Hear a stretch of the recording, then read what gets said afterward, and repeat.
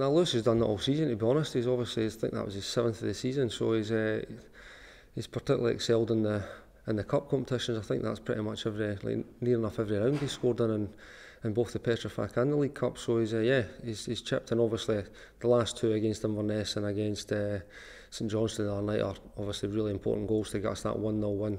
Uh, deserved, I think, to be honest. But it's uh, yeah, it's great to see him popping up with a few goals, and obviously Nicky Law's done that, and even B Blackie's chipped in with a few as well this season. So it's good to it's good to have that help.